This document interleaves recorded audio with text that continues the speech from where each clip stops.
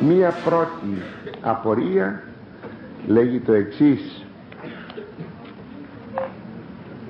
Πως δεν είναι παράλογο το ότι γνωρίζουμε κάπου θα διορθώνω και κανένα συντακτικό λαθάκι λέει περί αμαρτίας. Γνωρίζουμε για την αμαρτία και την επιτελούμε πάλι ενώ ξέρουμε ε, την ξανακάνουμε την αμαρτία. Αυτό δεν είναι παράλογο. Μιλάω κυρίως για απτές αμαρτίες χειροπιαστές θέλει να πει που δυστυχώς επαναλαμβάνουμε στις εξομολογήσεις και πως δεν έχουμε πίστη ζώσα ενώ άλλοτε ζούμε ζούμε θαύματα βλέπουμε ευωδιάζοντα λείψανα Αγίων και το σπουδαιότερο κοινωνούμε τον ίδιο τον Χριστό. Μάλιστα. Λοιπόν θα απαντούσα σε αυτό το εξής ότι πρόκειται για την ασθένεια της φύσεώς μας. Ασθένεια θα πει αδυναμία για την αδυναμία της φύσεως μας της ανθρωπίνης μας φύσεως. Γι' αυτό ξαναπέφτουμε στα ίδια πράγματα. Λείπει η άσκησης δεν θέλω να αμαρτήσω αλλά ξαναμαρτάνω. Γιατί δεν έχω ισχυροποιημένη βούληση και δεν έχω ισχυροποιημένη βούληση επειδή λείπει η άσκησης. Δεν έχω φτάσει στο βαθμό της εγκρατείας η οποία, που λέγαμε στο μάθημά μας ε, ώστε η εγκράτειά μου να είναι ε, ισχυροποιημένη από την άσκηση.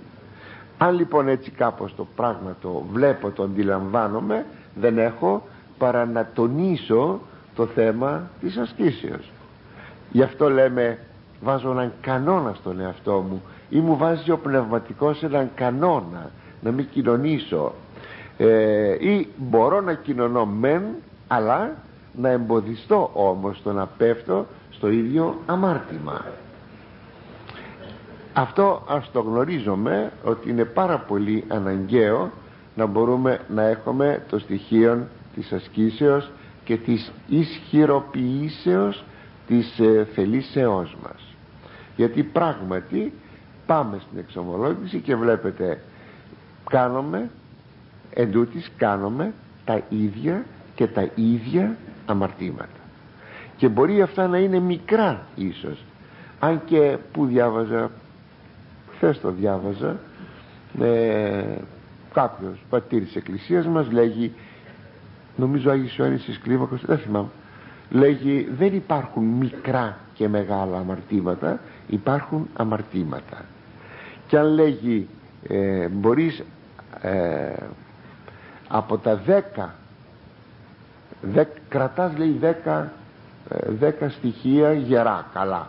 Το ένα όμως χωλαίνει κάπου θα χάσεις και τα υπόλοιπα εννιά όπως ακριβώς από ένα τεπόζιτο όταν υπάρχει μια μικρή τρυπίτσα σίγουρα από εκεί θα χάσεις το περιεχόμενο του τεποζίτου γιατί; Μια μικρή τρυπίτσα από εκεί διαρρέει εκείνο το οποίο έχεις βάλει μέσα.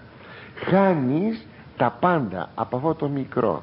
Φερρυπίν το ψέμα. Λέμε πολλές φορές ε καλά ψέμα δεν είναι καλό. Το ψέμα είναι πάρα πάρα πολύ κακό και θα οδηγήσει κάποτε σε καταστάσεις που ούτε θα τις είχες φανταστεί ποτέ σου ότι θα οδηγούσουν, οδηγήσω εις αυτήν την κατάσταση.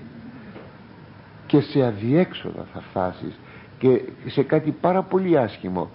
Αυτό το ψέμα το οποίο συνήθισες να λες σιγά σιγά σε οδηγεί σε αυτή την κατάσταση. Λοιπόν θα πρέπει να ξέρουμε να επισημάνουμε την ασθένεια της φύσεώς μας την αδυναμία του εαυτού μας ο οποίος πάντοτε ολονών σε όλους μας είναι αυτό. Ο λησθένει, ληστράει και να φροντίσουμε με την άσκηση να διορθωνόμαστε. Αυτά για αυτήν την απορία